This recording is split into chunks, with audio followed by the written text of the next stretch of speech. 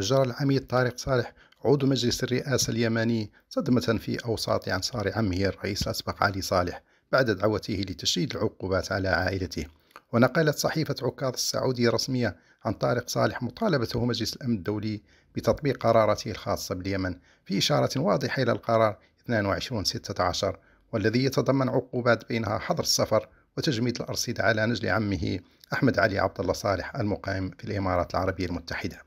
ولم يتضح بعد دوافع طارق صالح لهذا الملف في هذا التوقيت بالضبط الذي تستعد فيه الإمارات لتحرك جديد بغية إنهاء العقوبات.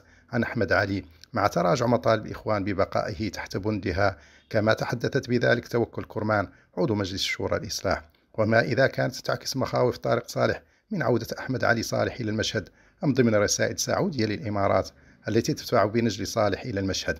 يذكر أن طارق كان من أعرف عصورا لعمه خلال فعاليات ذكر الوحدة في المخا رغم أنه مشارك في تحقيقه. ويدفع طارق صالح بقوة للاستحواذ على إرث عمه السياسي على حساب نجله أحمد علي صالح. وقد سبق له أن ضم قطاع واسع من المؤتمر إلى مكسبه المعروف بالمقاومة الوطنية. كما ساهم باتساع رقعة الخلافات داخل المؤتمر الشعبي الذي يسعى نجل عمه للعودة إلى المشهد من بوابته.